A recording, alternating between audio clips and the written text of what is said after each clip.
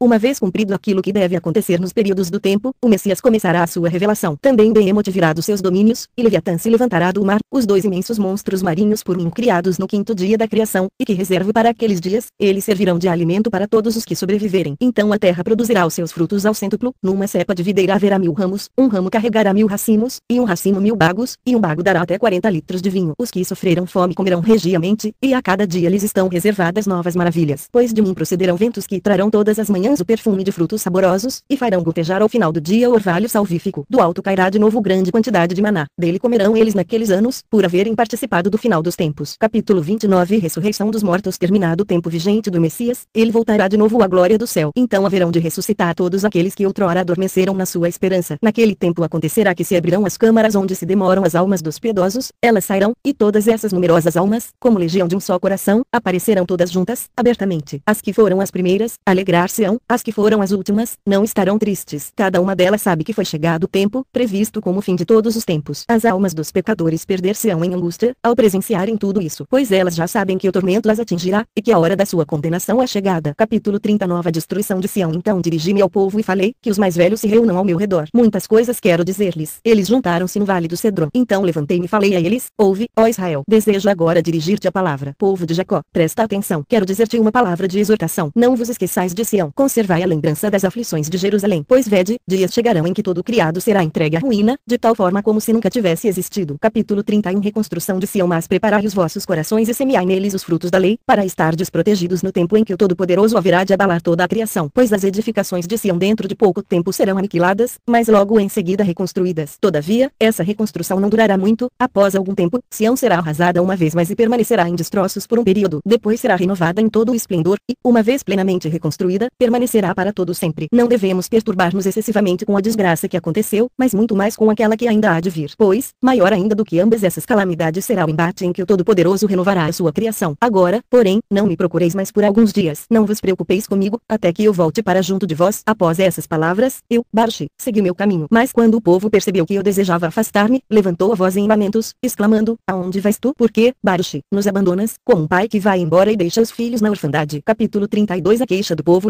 Das incumbências que Jeremias, o profeta, e teu par, a te recomendou quando te dizia, Vela, pois, por esse povo, pelo tempo em que eu devo permanecer na Babilônia para reagrupar os nossos outros irmãos, aqueles sobre os quais correu a sentença do arrasto ao cativeiro. Se também tu, nesta hora, nos abandonas, melhor seria então para nós morrermos logo de uma vez. Aí poderias abandonar-nos. Capítulo 33 Oração de Baruch Eu falei ao povo, longe de mim abandonar-vos e de vós afastar-me. Eu somente me encaminho para junto do Santíssimo, e junto ao Todo-Poderoso intercederei por vós e por Sião, procurando receber ainda maiores esclarecimentos. Capítulo 34 A queixa de Baruch E assim eu, Baruch, fui até os lugares sagrados e sentei-me sobre os escombros. Oxalá os meus olhos se convertessem em fontes e minhas pálpebras em vertentes de lágrimas. Como poderei eu suspirar o bastante por Sião e entristecer-me por Jerusalém? Aqui, onde agora deixei-me cair ao chão, o sumo sacerdote oferecia sacrifícios de dons sagrados e deitava incenso de espécies olorosas agradáveis. Agora, porém, o nosso orgulho converteu-se em pó, e em areia o suspiro ardente das nossas almas. Capítulo 35 A visão da floresta, da videira, da fonte e do cedro Após essas queixas, adormeci. Já à noite, tive uma visão. Havia uma planície, e nela uma floresta de árvores, circundada de montes rochosos, altos e inóspitos, e aquela floresta era muito grande. À sua frente crescia uma videira de grande altura, e aos pés desta uma fonte fluía suavemente. Aquela vertente, porém, ia até a floresta, tornando-se uma torrente poderosa, cuja enchente inundou aquela floresta, e as suas ondas arrancaram muitas árvores da selva e devastaram todas as montanhas ao redor. Assim, o cume da floresta baixava cada vez mais, o mesmo acontecendo também com o cimo dos montes. E tão forte era a torrente que das numerosas árvores da floresta nada mais restou a não ser um único cedro. Quando as águas também a este derrubaram, assim aniquilando e erradicando completamente a grande floresta, até que dela nada mais tivesse sobrado, nem fosse mais possível reconhecer o seu lugar, eis que inesperadamente aquela videira e sua fonte movimentaram-se calma e suavemente. Chegaram a uma posição não muito distante do cedro. Então as águas da torrente arrastaram aquele cedro, que jazia ao chão, para junto da videira. Eu observei como a videira abriu a sua boca e, dirigindo-se ao cedro, disse, por acaso não és tu o cedro que sobrou da destruição da floresta por tuas mãos? Em todos esses anos, foi constantemente promovido o mal, nunca o bem. Sempre te sentiste forte em face daquilo que te não igualava, também nunca tiveste compaixão para com o que te pertencia. Estendias a tua dominação sobre aqueles que se encontravam à distância, mas aos que se aproximavam prendias nas tuas garras com a rede da tua maldade. Assim, tu te orgulhavas todo o tempo, como se não pudesses um dia ser erradicado. Agora, porém, precipitou-se o teu tempo, e as tuas horas foram contadas. Agora vai-te também tu, ó cedro, atrás daquela floresta que antes de ti foi arrastada, e com ela converte-te em areia, e que o vosso pó se misture. Dorme agora na tristeza e permanece no lamento, até que venha o teu tempo derradeiro, em que te será dado voltares, para padeceres ainda maiores sofrimentos. Capítulo 36 O fim da visão Então eu vi como aquele cedro incendiou-se e ardeu em chamas, enquanto a videira se exaltava, soberana, tendo ao seu redor um campo cheio de flores que não murchavam, eu despertei e levantei-me daquele lugar. Capítulo 37 Pedido de explicação Eu supliquei e disse, Senhor, meu Deus, sempre iluminas aqueles que procuram o entendimento, e a tua lei é vida e tua sabedoria é norma segura. Dize-me, que significa aquela visão, pois tu o sabes. Eis que a minha alma sempre viveu segundo a tua lei. Jamais, em toda a minha vida, afastei-me da tua sabedoria. Capítulo 38 O significado da visão Ele falou-me, Baruch, e o seguinte o significado da visão que presenciaste. A grande floresta que os teus olhos viram e as montanhas altas e íngremes ao seu redor significam o quanto segue. Dias virão em que esse reino que destruiu Sião será destruído e subjugado por outro que lhe sucederá. Mas também este, decorrido algum tempo, será destruído, e então virá um outro, um terceiro. Mas também este, após exercer o seu reinado, será aniquilado. Depois virá o quarto reino, e o seu império será muito mais duro e cruel que os anteriores, e reinará por um longo período, como a floresta sobre a planície, e conservará o poder por largo tempo e elevar-se-á mais alto que os cedros do Líbano. Nele a verdade ficará abafada, e a ele confluirão todos aqueles que se comportaram com violência, como os animais selvagens, que em disparada se refugiam na mata. Virá então o tempo do seu fim, em que acontecerá sua queda fatal, e então revelar-se-á o reino do meu ungido, e socorrerá como a fonte a videira. Uma vez chegado, ele exterminará toda aquela grande multidão, o grande cedro que viste resistindo à destruição da floresta, e as palavras da videira a ele dirigidas, e que ouviste, significam o seguinte, capítulo 39 O último príncipe será morto pelo Messias o último rei permanecerá com vida, mesmo tendo perecido a multidão dos seus súditos. Então ele será acorrentado e conduzido ao monte Sião, e ali o meu ungido lhe pedirá contas de todos os seus atos de prepotência, e, juntamente com as obras de toda a sua multidão, o aniquilará na sua presença. Depois disso, ele lhe dará a morte, e assim protegerá o restante do meu povo, que se encontra na terra por mim escolhida. E o seu reino durará para sempre, até o final do mundo perecível, quando então completar-se-ão os tempos predeterminados. Foi essa tua visão e o seu significado. Capítulo 40 Considerações de Baruch Eu perguntei, para que isso irá acontecer, e para quantos, ou quem será digno de viver naquele tempo. Falo agora na tua presença sobre aquilo em que reflito sem cessar, e pergunto o que vai no meu pensamento. Vejo a muitos do teu povo que se afastaram dos preceitos da tua aliança e lançaram fora o jugo da tua lei. Vi, porém, outros que também já se despojaram das vestes da vaidade e se refugiaram sob as tuas asas. Que caberá àqueles, como escolherá aquele tempo final? Será aquele tempo colocado na balança e serão julgados segundo o peso justo? Capítulo 41 Explicação Ele falou-me, outra coisa vou revelar-te. Perguntaste a quem e a quantos aqueles eventos se aplicarão. Somente aos fiéis caberá aquele galardão, mas quanto aos que o desprezaram, o contrário. Tu falaste também daqueles que se aproximaram e daqueles que se afastaram, com estes dar-se-á o seguinte, para os que primeiramente se submeteram, e só mais tarde se afastaram, misturando-se com as raças que por sua vez já estavam misturadas, valerá o seu tempo primitivo, que será considerado muito valioso para aqueles que de princípio ignoravam a vida, e que só mais tarde a conheceram, e se integraram à geração do povo escolhido, valerá o seu tempo recente, como algo de grandioso. Alguns tempos herdarão outros, alguns períodos herdarão outros períodos, integrando-se mutuamente. O final de tudo será compensado de acordo com a medida dos tempos e de acordo com as horas dos períodos. Recairá a perdição sobre os que a perdição pertencem, mas caberá a vida aos que desta participam. O pó será suscitado e ser-lhe dito, devolve o que te não pertence. Deixa que ressuscite tudo, quanto por tempo determinado conservaste. Capítulo 42 Exortação a Baruch Tu porém, Baruch, prepara o teu coração para o que te foi anunciado. Entende o que te foi revelado. Grande e permanente será o teu consolo. Parte desta terra e afasta-te dos lugares que acabaste de ver. Esquece o que é transitório, já não penses mais naquilo que acontece aos mortais. Vai, pois, cuida do teu povo. Toma em seguida este lugar. Jejua durante sete dias. Eu virei de novo para junto de ti falarei contigo. Capítulo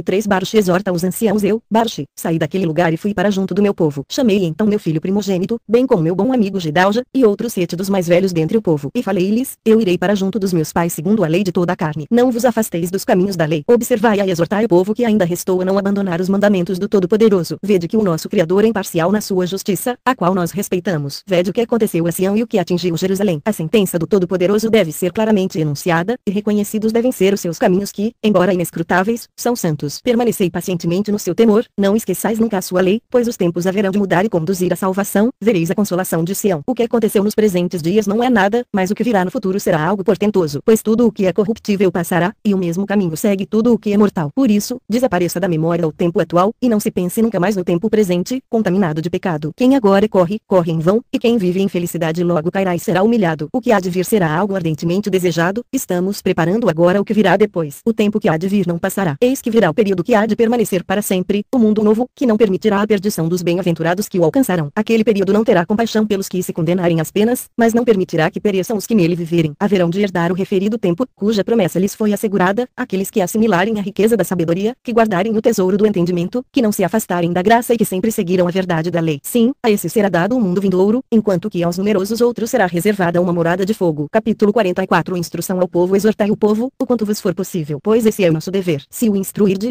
transmitir-lhe-eis a vida. Capítulo 45 Exortação ao cumprimento da lei Então falou o meu filho, juntamente com os anciãos do povo, terá o Altíssimo decidido a tal ponto nos oprimir, arrancando-te tão depressa do nosso convívio. Teremos nós de ficar realmente na escuridão, e deverá o povo que restou ficar privado de qualquer luz. A quem nos dirigiremos daqui por diante para obter esclarecimento sobre a lei? Quem nos haverá de mostrar a diferença existente entre a morte e a vida? Falei a eles, eu não posso opor-me ao trono do Altíssimo, mas não faltará a Israel um sábio, nem ao povo de Jacó um discípulo da lei. Deixai unicamente preparados os vossos corações para ser desobedientes à lei e para submeter-vos àqueles que são sábios esclarecidos. Não vos afasteis deles de forma alguma. Se isso cumprirdes, alcançareis aquelas promessas que por mim vos foram anteriormente anunciadas. Nunca sereis vítimas da desgraça, disso agora mesmo eu vos asseguro. O fato da minha partida, isso eu vos omiti, bem como ao meu filho. Capítulo 46 Jejum de Baruch Enquanto eu saía, e os deixava, afastando-me daquele lugar, disse-lhes ainda, agora eu irei até o Hebron. Para lá me envia o Todo-Poderoso. Assim, cheguei àquele lugar no qual uma palavra me estava reservada, ali eu me sentei e jejuei por sete dias. Capítulo 47 Oração de Baruch Depois do sétimo dia, falei em súplica diante do Todo-Poderoso, meu Senhor, tu ordenas que venham os tempos, e eles de imediato se apresentam diante de ti. Tu estabeleces o regime dos astros, e eles não se te opõem. Tu ordenas o suceder das estações, e elas te obedecem. Unicamente tu conheces a duração das gerações, mas não revelas teus segredos à multidão. Tu regulas a intensidade do fogo e equilibras a velocidade dos ventos. Tu exploras os confins do firmamento e sondas os abismos das trevas. Tu determinas o número dos que perecerão, o número dos que hão de permanecer e preparas uma morada para os que ainda virão. Tu conheces o princípio das coisas por ti criadas e tens presente a destruição futura. Com ameaças terríveis e coerção, tu comandas o fogo que se propaga ao vento. Por tua palavra chamas à existência aquilo que não é. Com grande poder tu imperas sobre as coisas que ainda não são. Com o teu olhar orientas as criaturas, tomas sábias as esferas, para que obedeçam a ordem estabelecida. Legiões de cortes estão na tua presença, e ao teu aceno atendem alegremente com os seus cânticos. Ouve agora o teu servo e dá atenção aos meus rogos. Num curto espaço de tempo nascemos, em curto espaço de tempo desaparecemos. As horas para ti são como anos, e os dias iguais às gerações. Não lances tua ira sobre o homem. Ele não é nada. Não leves em consideração as nossas obras. Que somos nós, enfim, chegamos ao mundo por graça tua e dele partimos não por vontade nossa. Nós não dissemos aos nossos pais, gerai-nos, nem ordenamos ao mundo inferior, dizendo, recebe-nos.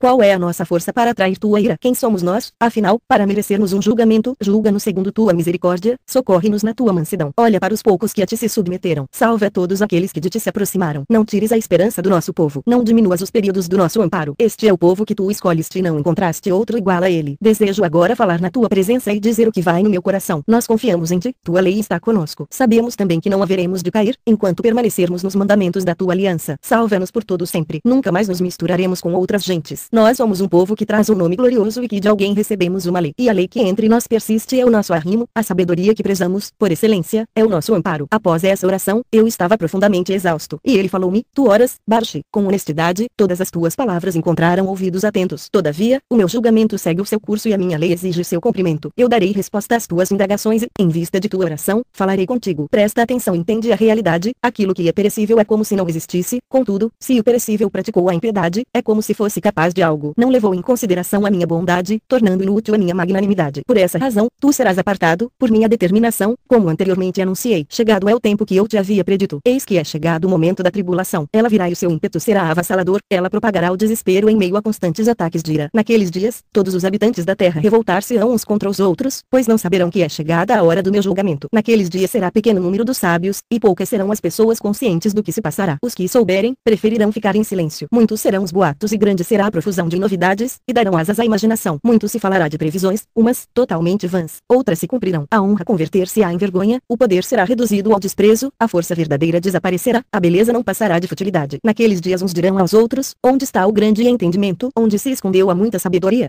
E enquanto se entretiverem com esses pensamentos, nascerão ciúmes naqueles que por si próprios não possuíam nada. As paixões acometerão os pacíficos e muitos serão arrebatados pela cólera e ferirão a muitos. Exércitos incitar-se-ão ao derramamento de sangue e finalmente todos conjuntamente perecerão. A mudança dos tempos será, naqueles dias, clara e patente para todos, porque nos dias passados encheram-se de contaminação, praticaram a fraude, seguindo cada um seus caminhos, relegando ao esquecimento a lei do Todo-Poderoso. Por isso, as chamas devorarão seus intentos, os seus pensamentos secretos serão provados pelo fogo. O julgador virá, e ele não hesitará. Cada um dos habitantes habitantes da terra poderia saber quando se comportou com arrogância, mas o seu orgulho impediu-os de conhecer a minha lei. Em verdade, muitos chorarão bem mais pelos vivos do que pelos mortos. Eu disse, que fizeste, Adão, a todos os que de ti procederam. E o que diremos da Eva primeira, por ter dado ouvidos à serpente? Toda a grande multidão será entregue à ruína, inumeráveis aqueles que serão devorados pelo fogo. Na tua presença, ainda desejo dizer o seguinte, o tu, Senhor, meu Deus, conheces perfeitamente o que existe na tua criação, pois no princípio ordenaste ao pó que formasse Adão. Conheces também o número de todos aqueles que dele se originaram, e como até agora se comportaram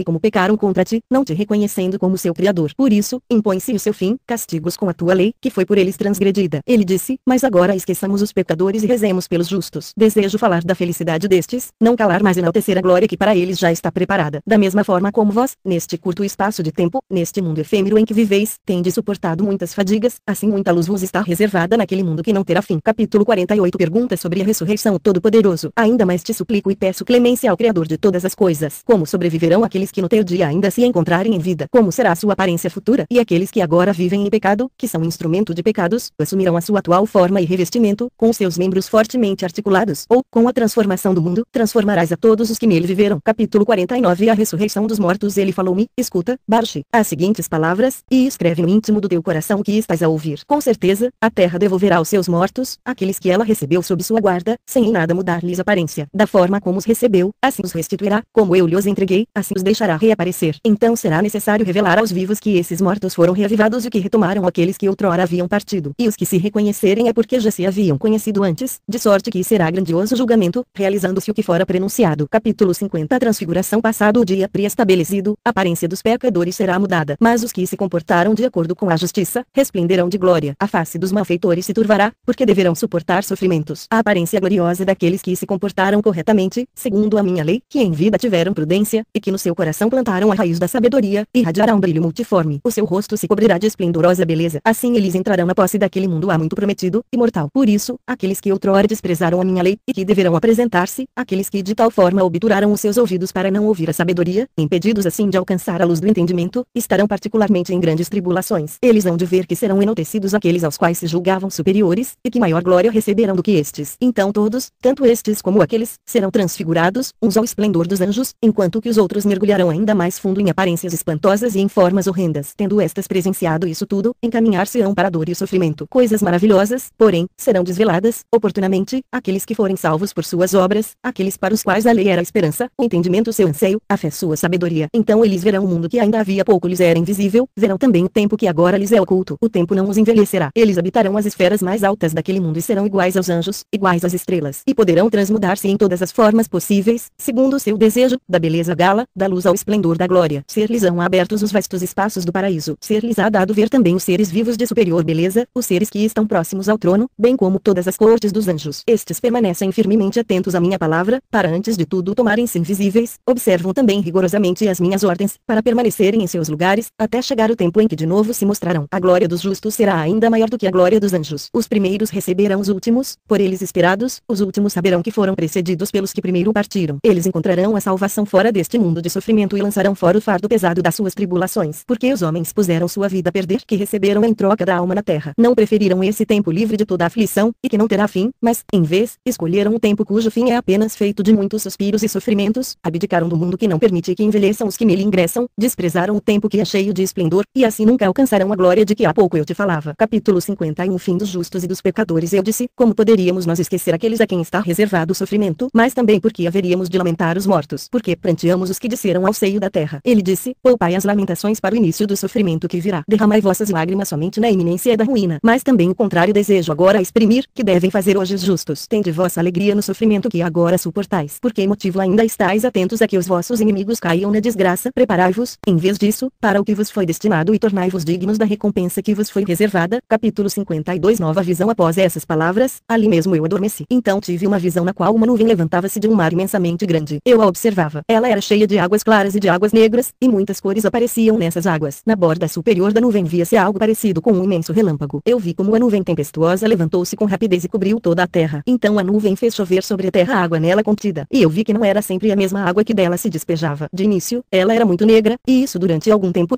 Depois vi que a água diminuiu, mas era mais clara. Em seguida vi de novo água escura, depois água clara, depois escura e depois de novo clara. Essa alternância repetiu-se por 12 vezes, mas a água escura sempre era em maior quantidade do que a clara. Antes de dissipar-se, a nuvem despejou água negra, e esta era ainda muito mais escura do que toda a anterior, e fogo misturava-se a ela. Essa água, ao despencar, provocou ruína e destruição. Então eu vi como o raio que estava na borda superior envolveu a nuvem e fulminou a terra. E era tão fulgurante o raio a ponto de iluminar a terra inteira, chegando também a restabelecer aquelas áreas onde caíram as últimas águas, que provocaram a devastação. Ele assoberbou toda a terra, dominando-a como sua propriedade. E depois disso, eu vi do mar levantaram-se doze torrentes que circundaram aquele raio, e a ele ficaram submissas. Então eu despertei, e estava muito amedrontado. Capítulo 53 Pedido de explicação do sonho Eu supliquei ao Todo-Poderoso, dizendo, Tu Senhor, somente Tu conheces antecipadamente os arcanos da terra, pela Tua palavra conduzes o que no tempo acontece, por causa das obras dos habitantes da terra, apressas o início dos tempos, e o término dos períodos somente Tu conheces. O Tu, para quem nada é difícil e que com o aceno tudo realizas com facilidade, de quem estão próximas tanto as profundezas como as alturas, e a cujas palavras o começo dos mundos obedecem, e que também desvelas, aos que te guardam temor, o que lhes está preparado, para dessa forma trazer-lhes consolo. Tu que mostras teus poderes admiráveis àqueles que não sabem, que abres uma fresta para os iniciantes, que clareias as coisas obscuras e que manifestas o que é oculto aos puros de coração, que em fé se consagram a tua lei. Tu propiciaste ao teu servo aquela visão. Revela-me agora o seu significado. Eu sei que de ti recebi explicação sobre aquilo que eu havia solicitado, esclareceste o que te implorei. Revelaste-me também com que tom de voz eu devia louvar-te e por meio de quais membros expressar a honra e o louvor que sobem à tua presença. Fosse cada um dos meus membros uma boca e os cabelos da minha cabeça outras tantas vozes, nem assim poderia eu louvar-te e dar-te graças na medida que te cabe. Também, não tenho capacidade de narrar o teu esplendor e traduzir o brilho da tua majestade. Quem sou eu dentre os homens? Que valor tenho junto àqueles, melhores do que eu, pelo fato de ter ouvido do Altíssimo tais maravilhas, promessas inúmeras do meu Criador, ave minha mãe, entre os nascidos, bendita seja entre as mulheres aquela que me trouxe ao mundo. Mas não posso calar-me e não cesso o meu louvor ao Todo-Poderoso, com o meu canto de louvor enumero tuas maravilhas. Pois quem, ó Deus, medita o bastante sobre tuas maravilhas, e quem compreende teus planos profundos, cheios de vida, pelo teu pensamento reges todas as criaturas, nascidas por tua destra, puseste ao teu serviço toda a fonte de luz e depositaste os tesouros da tua sabedoria ao lado do teu trono. E com razão que ficam arrasados aqueles que não amam tua lei, e recebem o castigo do teu julgamento aqueles que se não submeteram ao teu império. Se Adão foi o primeiro a pecar, trazendo a todos a morte por antecipação, assim cada um dos filhos também atraiu sobre si o sofrimento vindouro, e cada um deles excluiu-se da glória futura. Em verdade, obtém a recompensa aquele que tem fé. Agora, porém, encarai apenas a perdição, ó vós que hoje sois malfeitores. Sereis castigados com severidade, porque anteriormente desprezastes as luzes do Altíssimo. Jamais aprendestes o que ensinam as suas obras nem até agora vos convenceu a maravilha da sua criação. Se Adão carrega única e exclusivamente a sua culpa, nós todos, por nossa vez, e cada um por si, tornamo-nos um Adão. Esclarece-me as tuas revelações, Senhor. Dá atenção às minhas perguntas. Os malfeitores receberão a paga por seus atos no fim dos tempos, e tu glorificarás os crentes por sua fé. Tu conduzes aqueles que são do teu lado, e do teu lado eliminas os pecadores. Capítulo 54 Excitação de Baruch acerca do julgamento Essa foi a minha oração. Sentei-me então debaixo de uma árvore sob a sombra dos seus ramos. Admiro-me e espanto-me ao considerar como os pecadores sobre a terra repeliram de si esse grande bem, e como avaliaram mal aquele grande sofrimento, embora soubessem que eram obrigados a pena por seus pecados. Eu meditava sobre isso e sobre coisas semelhantes, quando foi enviado a mim o anjo Harniel, orientador veraz das visões. E ele falou-me, porque, Barshi, se tranquiliza o teu coração porque se excita o teu sentimento, se já agora estás agitado, quando apenas tiveste notícia do julgamento, que farás ao vê-lo diante dos teus olhos clara e abertamente, se já estás tão fora de ti pela expectativa do dia do Todo-Poderoso, como então poderás presenciar sua chegada? E se estás espantado com as palavras que te anunciam as penas dos pecadores, que será quando o seu cumprimento tornar presentes tais acontecimentos? Se já estás aflito por teres ouvido os nomes das bênçãos e os nomes dos sofrimentos futuros, que será quando vires a sua majestade desvelar-se ao claro, declarando a uns como culpados, a outros fazendo exultar de júbilo. Capítulo 55 O significado da visão Uma vez mais suplicaste ao Altíssimo que se digne revelar-te o que significa a visão que tiveste, assim, fui enviado para dar-te a explicação. Eis que o Todo-Poderoso fez-te revelação dos tempos do seu mundo, tanto dos que já passaram como dos que ainda virão, desde o começo da sua criação até o seu fim, uns transcorrendo em tumultos, outros de maneira ordenada. Viste a grande nuvem que se levantou do mar e cresceu a ponto de cobrir a terra, ela representa o vasto mundo, efetivamente criado pelo Todo-Poderoso quando planejava dar existência ao universo. Assim aconteceu de fato, apenas pronunciada a palavra da sua boca, o mundo apareceu na sua duração, ele era bem pequeno, mas perfeitamente conforme a grande sabedoria do seu Criador. Viste primeiro na borda superior da nuvem a água escura, que se derramava sobre a terra, pois ela significa a transgressão do primeiro homem Adão. Após a sua queda, introduziu-se prematuramente a morte, e o luto recebeu o seu nome, preparada estava a tristeza, foi criada a dor, e estava pronta a fadiga, as desventuras começaram a instalar-se. O mundo inferior exigia renovação pelo sangue, assim, foi inaugurado o enxoval de crianças e criada estava a volúpia dos genitores, a grandeza dos homens foi rebaixada e o bem retraiu-se. Que poderia ser mais negro e tenebroso do que isso, foi o início, com as águas escuras que viste. Dessa escuridão, mais escuridão procedeu, foi produzida assim a treva mais profunda. Pois ele, Adão, tornou-se perigoso primeiro para si mesmo mas logo em seguida também para os anjos. Estes também gozavam da liberdade no tempo em que ele foi criado. Assim, alguns deles desceram e misturaram-se com as mulheres. Mas esses réus foram então acorrentados entregues às penas. A maioria inumerável dos outros anjos manteve-se afastada disso. Mas todos os habitantes da terra pereceram pelo dilúvio. Isso foi a primeira água escura. Capítulo 56 A água clara então viste a água clara. Isso é o aparecimento de Abraão, como também a vinda do seu filho e do seu neto, juntamente com todos os seus. Naquele tempo, a lei ainda não estava escrita mas no seu todo ela lhes era conhecida. Dessa forma, já eram praticadas naquele tempo as obras dos mandamentos. Já havia nascido a crença no juízo futuro. A esperança da renovação do mundo já existia, também já estava fundada a promessa de uma vida que viria depois. Isso foi a água clara que viste. Capítulo 57 A água escura A terceira água que viste, escura, é o acúmulo de todos os pecados cometidos pelas gerações seguintes, após a morte daqueles homens piedosos, bem como as injúrias da terra do Egito praticadas com violência na subjugação dos seus filhos. Mas finalmente também isso foi eliminado. Capítulo 58 A quarta água, clara A quarta água, clara, que viste é o aparecimento de Moisés, Arão e Miriam, bem como do filho de Nun, Josué, de Caleb e de todos os seus semelhantes. O facho da lei, válido para todos sempre, brilhou nesse tempo para todos os que jaziam nas trevas. Aos que têm fé ela anuncia a da recompensa e aos ímpios, as penas do fogo. Naquele tempo, quando ele chamou Moisés para junto de si, os próprios céus abalaram-se nos seus fundamentos, e os que estavam junto do trono do Todo-Poderoso tremeram. Ele fez-lhe muitas advertências e deu-lhe orientações sobre a lei e sobre o fim dos tempos, assim como as deu a ti. Já naquele tempo, o projeto de Sião e suas dimensões estavam definidos para sua realização segundo o plano do atual santuário. Ele mostrou-lhe então o volume do fogo, as profundezas dos oceanos, o peso dos ventos, o número das gotas da chuva, a contenção da ira, a paciência incomensurável, a fatalidade do juízo, a raiz da sabedoria, o império do entendimento, a fonte do conhecimento, a altura dos oceanos atmosféricos, o tamanho do paraíso, o fim dos mundos, o início do dia do juízo final, o número das oferendas sacrificiais, os mundos que ainda haveriam de vir a boca do inferno, o lugar das recompensas, os domínios da fé, o sítio da esperança, o espetáculo da tribulação futura, a multidão inumerável dos anjos, a vastidão das chamas, o fulgor dos coriscos e o ribombo do trovão, a hierarquia dos arcanjos, os reservatórios da luz, a mudança dos tempos, os aprofundamentos da lei. Essa é a quarta água, clara, que viste. Capítulo 59 E a quinta água, escura a quinta água, escura, que viste chover são as obras dos amorreus, a verbosidade dos seus vaticínios, seus mistérios execráveis e suas miscigenações impuras. Ao tempo dos juízes, também Israel contaminava-se com pecados, embora tendo presenciado tantos sinais maravilhosos do seu Criador. Capítulo 60 A sexta água, clara sexta água, clara, que viste é o tempo de Davi e o nascimento de Salomão. Naquele tempo foi edificada Sião, inaugurado o templo, derramado sangue de muitos povos infiéis e muitos foram os sacrifícios oferecidos na consagração do templo. Reinava então o bem-estar e a paz. Ouvia-se muita sabedoria na comunidade e o dom do entendimento era enaltecido. As festas sagradas eram celebradas com grande alegria e satisfação. A justiça dos príncipes era sem falsidade, e a retidão, segundo os mandamentos do Todo-Poderoso, era efetivamente praticada. Assim, o país, que então era muito agradável,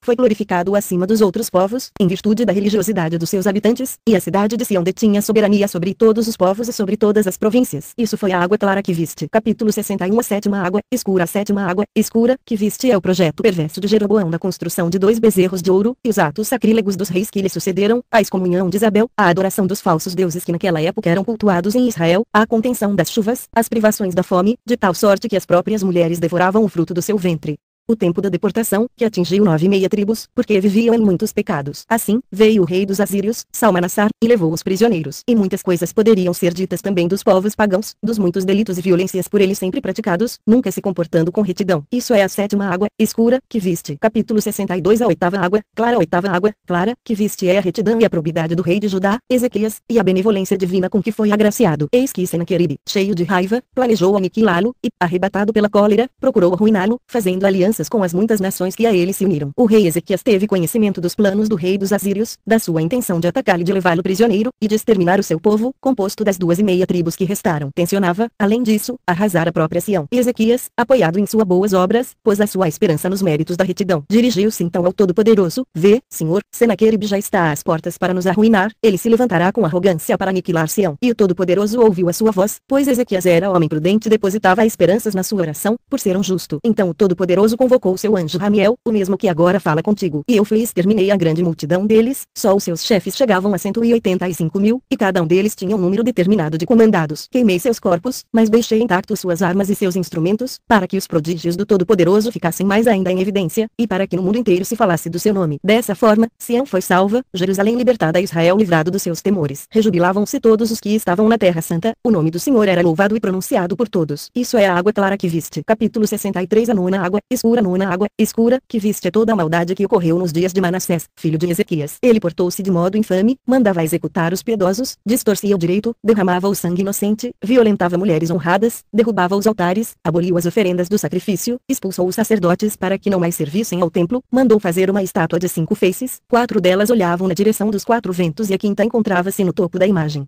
como para desafiar o Todo-Poderoso. Então o Todo-Poderoso encheu-se de cólera, Sião devia ser completamente destruída, e isso aconteceu nos vossos dias. A sentença recaiu também sobre as duas e meia tribos, devendo elas também ser arrastadas ao cativeiro, como tu viste. A maldade de Manassés foi tão grande que a majestade do Altíssimo afastou-se do templo. Por isso, Manassés foi nesse tempo por todos reconhecido como um celerado, e o seu destino final seria o fogo. Todavia, quando sua oração encontrou ouvidos junto ao Altíssimo, foi-lhe finalmente concedido um sinal de prodígio, pois no momento em que ia ser lançado no interior do cavalo de bronze, este derreteu-se levou uma vida iníqua e não era digno desse prodígio, mas, por esse sinal, ele devia finalmente reconhecer por obra de quem ser-lhe-iam infligidos sofrimentos. Aquele que pode conceder o bem, pode também castigar. Capítulo 64 Manassés assim, Manassés comportou-se insensatamente, julgando que o Altíssimo, a seu tempo, não exerceria sua vingança. Isso foi a nona água, escura, que viste. Capítulo 65 A décima água, clara décima água que viste, clara, é a pureza e retidão da vida de Josias, senhor de Judá, unicamente ele, naquele tempo, era de todo o coração e de toda a sua alma submissa ao Todo-Poderoso. Ele expurgou o país dos ídolos, consagrou de novo todos os utensílios sagrados e restituiu ao altar as oferendas. Elevou o poder sagrado, exaltou os justos e honrou prudentemente todos os sábios. Restabeleceu os sacerdotes no seu serviço, expulsou do país os bruxos e feiticeiros, bem como os conjuros da morte. Não apenas exterminou os ímpios que ainda sobreviviam, como mandou também que fossem retirados das suas sepulturas os ossos dos mortos, para serem queimados. Reinstituiu as festas e os sabates e as oferendas sagradas, fez lançar ao fogo os impuros, os videntes impostores que o povo corrompiam, a todos eles entregou as chamas, e aos que naquele tempo ainda eram seus adeptos mandou arremessar no vale do Cedron, e sobre eles fez acumular pedras. O seu zelo pelo Todo-Poderoso era do íntimo da sua alma. Naquele tempo, apegou-se firmemente à lei, não deixando ninguém incircunciso e não permitindo, pelo tempo que viveu, que ninguém em todo o país deixasse de praticar a religião. Assim, ele se tornou merecedor da recompensa perene de honra sempre renovada junto ao Todo-Poderoso, como acontecerá a muitos, nos últimos dias. Para ele, bem como para todos os que se lhe comparam, foram preparados e criados os esplendores da glória, como anteriormente foi te revelado. Essa foi a água clara, que viste. Capítulo 66 A décima água, escura décima primeira água, escura, que viste é a desgraça que presentemente atinge Sião. Pensas por acaso que não se entristecem os anjos diante do Todo-Poderoso pelo abandono de Sião, e por verem os gentios no seu próprio coração se vangloriarem, e as hordas inimigas proclamarem diante dos seus ídolos, aquela que por tanto tempo pisava está agora esmagada, aquela que subjugava está agora subjugada. Pensas que o Altíssimo se alegra com isso, e que com isso o seu nome é altamente glorificado, mas também o que seria feito da sua tão justa sentença. O tormento atingirá igualmente aqueles que estão dispersos entre os povos e aqueles que em cada país vivem na vergonha. Quanto mais Sião estiver abandonada, Jerusalém devastada, tanto mais florescem os ídolos nas cidades dos gentios. E o perfume balsâmico da justiça, que da lei emana, evoluou-se completamente em Sião. Em toda parte, na terra de Sião, reina o cheiro do pecado. Então, levanta-se o rei da Babilônia, que agora arrasou Sião, jactando-se diante do povo e concebendo arrogâncias em seu coração diante do Altíssimo. Mas finalmente, ele também cairá. Isso corresponde a um décima água. Capítulo 67 A duodécima água, clara décima segunda água, clara, que viste significa o seguinte, virá em seguida o tempo em que a tribulação que se abaterá sobre o teu povo será de tal ordem que ele correrá o risco de perecer inteiramente. Mas, na realidade, ele será salvo e então seus inimigos se prostrarão aos seus pés. E, por longo período, o povo estará em júbilo. Naquele período, Sião também será rapidamente reconstruída e serão restabelecidos os sacrifícios, os sacerdotes tomarão o ministério sagrado e os próprios pagãos haverão de se aproximar, reverentes, mas não na mesma medida de antigamente. Então acontecerá a queda de muitas nações. Isso é a água clara, que viste. Capítulo 68 A água mais escura de todas a última água que viste era de fato mais escura do que as anteriores. Ela veio depois das doze precedentes. Atingiu o mundo inteiro.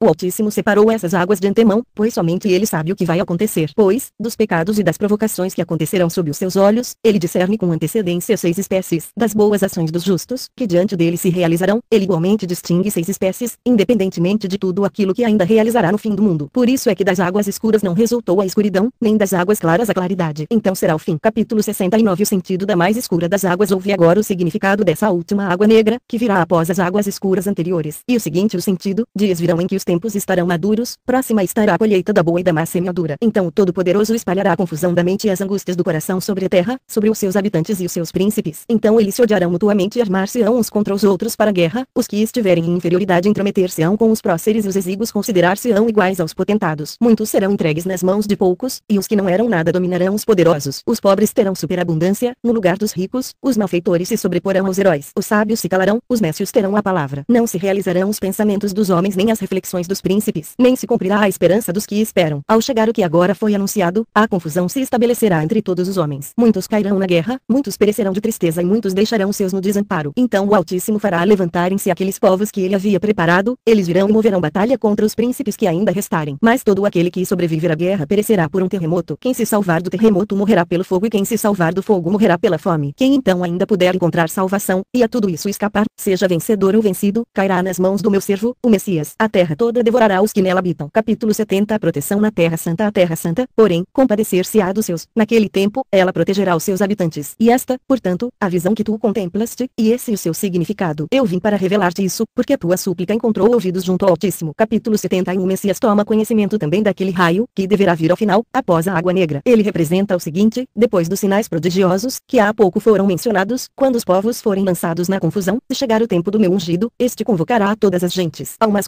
em vida, a outras eliminará. Aos povos por ele poupados acontecerá o seguinte, todos aqueles que não chegaram a conhecer Israel, e que nunca oprimiram a raça de Jacó, serão conservados em vida e separados dentre todos os povos, submeter-se-ão ao teu povo. Mas todos aqueles que outrora vos dominaram, ou que inutilmente vos conheceram, cairão em conjunto sob a espada. Capítulo 72 O reino da paz depois que no mundo ele tiver tudo submetido a si, em paz duradoura se assentar sobre o seu trono real, instalar-se-á o bem-estar e sobrevirá a paz. Então, como orvalho, disserá a saúde e as doenças se afastarão, e na vida dos homens desaparecerão as preocupações, os suspiros e as tribulações, a alegria se estenderá sobre toda a terra. Ninguém morrerá antes do seu tempo e nenhuma adversidade ocorrerá repentinamente. Litígios, queixas, desavenças, atos de vingança, derramamentos de sangue, cobiça, inveja, ódio e coisas semelhantes, dignas de condenação, tudo será extirpado por completo, pois foram essas coisas que encheram o mundo de maldades, e por causa delas é que sobreveio toda a desordem na vida dos homens. Os animais selvagens virão da floresta e colocar-se-ão a serviço dos homens, serpentes e dragões sairão das suas tocas e deixar-se-ão conduzir pelas crianças. As mulheres não sentirão as dores do parto e não mais se queixarão quando trouxerem ao mundo fruto do ventre materno. Capítulo 73 Descanso e paz na era do Messias naqueles dias, os ceifadores não se exaurirão de cansaço e os que constroem não ficarão escorchados. O trabalho chegará naturalmente ao seu resultado para aqueles que dele se ocupam com tranquilidade. Aquele tempo significará o fim das coisas efêmeras e o começo das coisas perenes. E o que foi dito, será cumprido. E por isso aquele tempo significará o afastamento do mal e a aproximação daqueles que não hão de perecer. Isto foi o clarão do raio que apareceu depois da última água escura. Capítulo 74 A bondade de Deus Eu falei, Senhor, quem pode fazer uma ideia da tua bondade? Ela é inescrutável. E quem pode penetrar a tua graça, que é sem limites? Ou quem pode conceber os teus desígnios? Ou quem poderia enunciar os pensamentos do teu espírito? Ou, ainda, quem dos nascidos sobre a terra poderia ter esperança de chegar ao seu entendimento, se a ele não concedes a tua graça, e se para ele bondosamente não te inclinas? Pois, se não fosses tu, que concedes a graça aos homens, ela não seria alcançada nem por aqueles que se encontram à tua direita, e que foram segregados, e destinados a pertencerem àquele número mencionado. Mas se nós, que ainda nos encontramos em vida, sabemos por que viemos, e nós, que nos submetemos àquele que do Egito nos trouxe até esta terra, podemos rememorar o passado e alegrar-nos com tudo o que aconteceu. Contudo, se não entendermos, e se não reconhecermos o poder daquele que nos conduziu para fora do Egito, então é que ficamos indagando sobre o que agora aconteceu e nos preocupando com a grande dor sobre os eventos atuais. Capítulo 75 Anúncio do arrebatamento de Baruch Ele falou-me, por ter sido revelado a ti o significado da visão, de acordo com tuas súplicas, ouve então a palavra do Altíssimo, a fim de que conheças o futuro que te espera. Com certeza tu te separarás desta terra, mas não para a morte, tu serás conservado para o fim dos tempos. Sobe ao topo desta montanha, e todas as regiões desta terra passarão diante dos teus olhos, a forma dos quadrantes do mundo, o cimo dos montes, a baixada dos vales, a profundidade dos mares, a quantidade dos rios. Haverás de ver o que deixas para trás no caminho que vais percorrer. Isso acontecerá daqui a quarenta dias. Vai agora, nestes dias, instrui o povo na medida do que estiver ao teu alcance, para que ele saiba que não perecerá nos últimos dias. Que ele saiba, enfim, viverá nos dias derradeiros. Capítulo 76 Palavras de exortação de Baruch ao povo Eu, Baruch, parti daquele lugar e cheguei junto ao povo e reuni desde os maiores até os menores. E falei-lhes, o vós, filhos de Israel, prestai atenção. Vede quantos de vós sobraram das doze tribos de Israel. A vós, porém, bem como aos vossos pais, o Senhor deu acima de todos os povos a lei. Mas por terem os vossos irmãos transgredido os mandamentos do Altíssimo, ele lançou o castigo sobre vós e sobre eles. Assim como não poupou aos primeiros, assim também entregou os últimos à deportação, e não deixou deles nenhum resto. Agora estáis aqui comigo. Se em vossos caminhos andardes com retidão, não precisareis mais exilar-vos, como foram exilados os vossos irmãos, mas ao contrário, eles tornarão para junto de vós, pois aquele a quem prestais louvor é clemente, é rico de amor aquele em quem tendes esperança, e solícito em fazer-vos o bem e não o mal. Acaso não semeastes aquilo que agora atinge Sião, ou pensais porventura que somente o chão pecou, sendo por isso assolado, ou que o reino da terra se desencaminhou, e por isso foi castigado, e por acaso não sabeis, por vossa causa, por vossos delitos foi agredido o que era isento de pecado, por causa dos prevaricadores foi entregue aos inimigos o que era sem culpa. Então o povo todo dirigiu-se a mim e falou, nós procuramos, na medida das nossas forças, voltar o nosso pensamento para o bem que outrora nos foi indicado pelo Todo-Poderoso, e daquilo que não mais cogitamos ele tem conhecimento, na sua grande grande misericórdia. Todavia, rogamos-te a seguinte providência por nós, teu povo, manda aos nossos irmãos na Babilônia uma carta de instrução e uma carta de alento, assim tu os fortalecerás, antes de nos abandonares. Eles sentem a falta do pastor de Israel, apagaram-se as luzes que outrora brilhavam e secaram as fontes das águas das quais bebíamos. Fomos abandonados na escuridão, na floresta espessa, no deserto, cheios de sede. Eu falei a eles, os pastores, as luzes e as fontes, todos eles procederam da lei. E mesmo que tenhamos de ir embora, a lei permanece presente. Tende pois olhos atentos à lei e prestai atenção na sabedoria, então não vos faltará candeia, o pastor não irá embora, a fonte não secará. Todavia, atendendo ao vosso pedido, eu enviarei a Babilônia uma carta aos vossos irmãos, e esta mandarei por mãos humanas. Mas outra carta mandarei também às nove e meia tribos, e essa transmitirei através de um pássaro. Aos vinte e um dias do oitavo mês, eu, Barshi, retirei-me e assentei-me sob um carvalho, à sombra dos seus ramos, e ninguém estava junto de mim, eu estava só. Ali eu escrevi as duas cartas, uma remetia às nove e meia tribos, através de uma águia, a outra encaminhei aos da Babilônia por intermédio de três homens. Chamei a águia para junto de mim e disse-lhe, o Criador te fez de forma tal a seres superior às outras aves. Assim, agora, alça voo. Não baixes em lugar nenhum, não vás a nenhum algum, não pouses em nenhuma árvore até que não sobrevoes o grande largo rio Eufrates e tenhas chegado junto ao povo. Lança-lhes esta carta. Lembra-te de como no tempo do dilúvio Noé recebeu da pomba o fruto da oliveira, após tê-la soltado da arca. Da mesma forma, os corvos serviram a Elias, trazendo-lhe alimentos, como lhes fora ordenado. Também Salomão enviava um pássaro sempre que desejava mandar alguém a algum lugar, para obter uma informação, em cada missão, o pássaro obedecia. Agora portanto não esmoreças e não te desvies, nem à direita nem à esquerda. Voa diretamente ao destino, para cumprires a ordem do Todo-Poderoso, de acordo com a minha incumbência. Capítulo 77 Cartas nove meia tribos Assim rezava a carta que Baruch, filho de Nérias, enviou às nove meia tribos que habitavam do outro lado do Eufrates, e tinha o seguinte conteúdo, Baruch, filho de Nérias, assim fala aos irmãos prisioneiros. A graça e a paz estejam convosco. Meus irmãos, eu penso no amor daquele que nos criou e que nos tem amado desde os tempos antigos, e que nunca nos desprezou. Mas ele agora nos impõe um terrível castigo. Na verdade, eu sei que nós todos, as doze tribos, fomos arrastados em um único cativeiro, porque de um mesmo pai procedemos todos. Por esse motivo, tanto maior é o meu zelo em deixar-vos esta carta antes da minha morte, a fim de que tenhais consolo na desgraça que vos atingiu, e novamente lamentais a infelicidade que se abateu sobre os vossos irmãos. Deveis pois reconhecer a justiça da sentença do vosso cativeiro, sendo ainda em menor medida o que sofreis, em comparação com o que cometestes. Deveis ser julgados dignos para os tempos últimos dos vossos pais. Considerai, portanto, que estáis padecendo por vossa salvação, para no fim não serdes julgados e condenados ao sofrimento, mas fortalecidos de firme esperança. Mas antes de tudo é preciso que extirpeis do vosso coração as crenças frívolas e enganosas, foi por causa delas que tivestes de partir. Se isso puserdes em prática, ele pensará em vós sem cessar, ele que, por causa nossa, sempre prometeu aos homens, que eram outrora melhores do que nós, que nunca iria esquecer a nossa estirpe, nunca iria deixá-la no abandono, mas, ao contrário, na sua misericórdia, haveria de reunir novamente os dispersos. Capítulo 78 O cerco de Jerusalém Pois sabei, primeiramente, meus irmãos, o que aconteceu com Sião, para merecer dessa forma ser atacada pelo rei da Babilônia, Nabucodonosor. Nós havíamos pecado contra o nosso Criador e não observamos os mandamentos que ele nos deu, mas ainda não nos castigou da forma que merecíamos. O que vos atingiu nós também tivemos de sofrer. Fomos atingidos igualmente. Capítulo 79 E a tomada de Jerusalém agora, meus irmãos, eu vos dou notícias, os inimigos já haviam sitiado a cidade, quando então pelo Altíssimo foram mandados anjos, os quais aniquilaram os contrafortes da sólida muralha e puseram abaixo as potentes fortalezas angulares de ferro, de outra forma não poderiam ter sido abatidas. Em contrapartida, eles esconderam alguns dos vasos sagrados, para que não fossem profanados pelos inimigos. Então aos inimigos eles entregaram a muralha arrasada, a casa espoliada, o templo incendiado, junto com o povo. Tudo ficou arrasado, para que o inimigo não pudesse jactar-se, dizendo, na batalha chegamos a devastar o próprio templo do Altíssimo.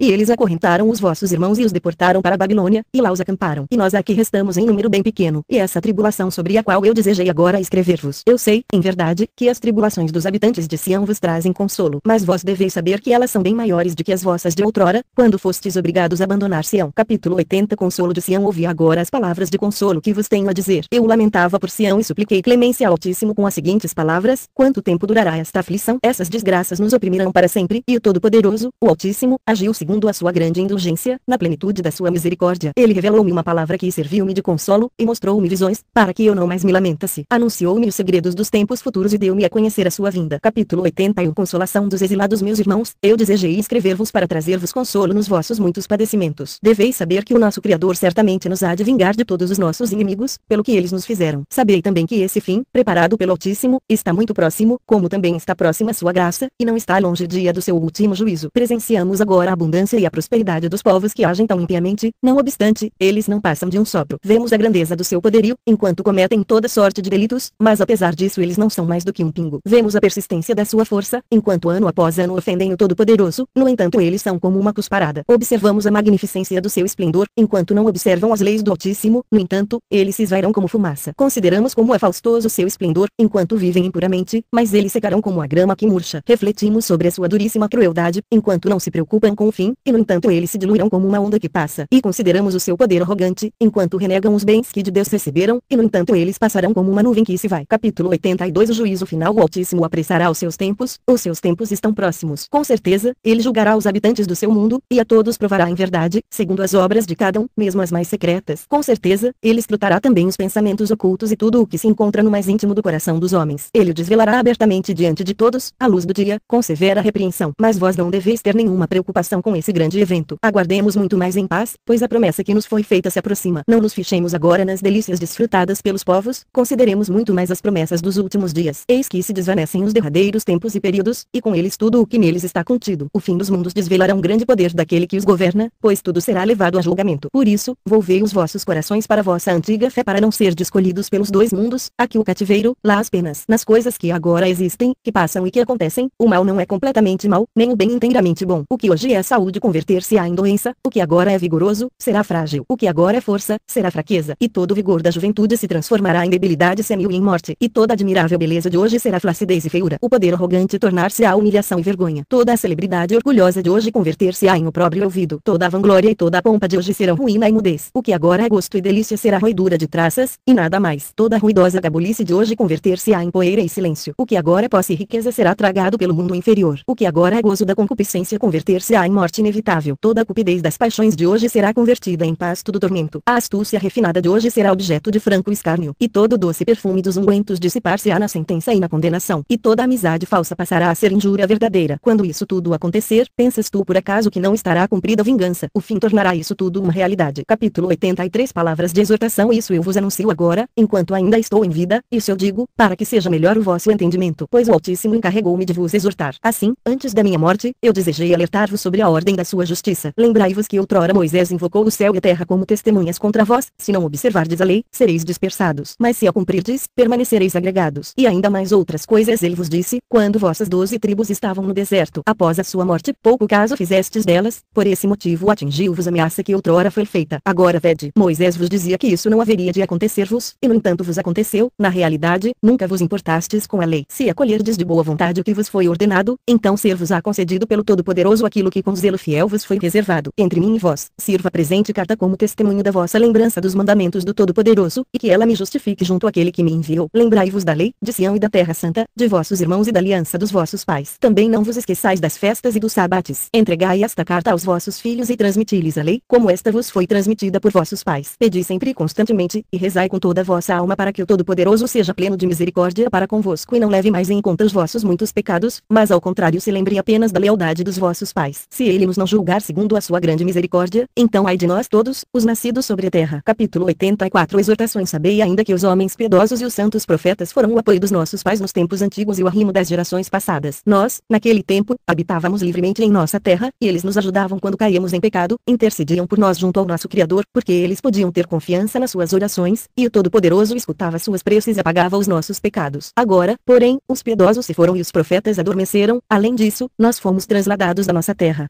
Sião nos foi arrancada, nada mais nos resta agora serão Todo-Poderoso e a sua lei. Preparemos agora os nossos corações para recuperar o que perdemos, que é superior em larga medida ao que foi por nós desperdiçado. Aquilo que perdemos foi passageiro, o que em contrapartida alcançaremos é perene. Com iguais palavras eu escrevi aos nossos irmãos na Babilônia, na intenção de a eles também dar testemunho. Tende sempre diante dos olhos o que foi dito, porque até agora ainda dispomos de espírito e vontade livres. A magnanimidade do Altíssimo está aqui conosco, ele revelou-nos o futuro e não escondeu de nós o que acontecerá no final. Antes que o julgamento reivindique o que é seu, aquilo que lhe é próprio, isto é, a verdade, preparemo-nos, para que possamos receber e não sermos entregues, para que possamos ter esperança e não sermos cobertos de vergonha, para que possamos gozar das delícias com os nossos pais e não padecer tormentos com os nossos inimigos. A juventude do mundo já passou, a plenitude das energias da criação há muito chegou ao fim, a vinda dos tempos últimos está quase presente, e quase já passou, pois o cântaro está próximo da fonte, o navio próximo do porto, a caravana próxima da cidade, a vida próxima do fim. Preparai-vos, para que possais estar tranquilos quando for desembarcados no navio, para não ser sentenciados depois de partir. Porque, quando o Altíssimo tudo isso tornar realidade, não haverá nova oportunidade de arrependimento, nem um novo fim dos tempos, nem duração das horas, nem mudanças de caminho, nem ocasião para orações ou para súplicas, nem busca do entendimento, nem doação por amor, nem mais ocasião de compulsão da alma, nem intercessão pelos pecados, nem a interpelação dos patriarcas, nem as lamentações dos profetas, nem o auxílio dos justos. Naquela hora, verificar-se-á a sentença da condenação, o caminho para o fogo, a trilha do inferno. Por isso é que existe uma lei transmitida por alguém, Moisés, e um mundo, e um fim para todos os que a ele pertencem. Então, ele vivificará os que puder perdoar, mas no mesmo momento eliminará aqueles que estiverem manchados pela culpa. Capítulo 85 A utilização da carta Quando esta carta chegar às vossas mãos, leite com toda a diligência, em vossas reuniões, e meditai sobre eles, especialmente nos dias dos vossos jejuns, e pensai em mim, ao ler a presente carta, assim como eu pensei em vós, ao escrevê-la, e ainda sempre penso. Capítulo 86 O envio da carta depois de haver completado esta mensagem, tendo-a escrito com todo cuidado até o fim, dobrei-a, lacrei-a cautelosamente e dependurei ao pescoço da águia. Então eu a soltei e a despedi, com a presente carta. Fim.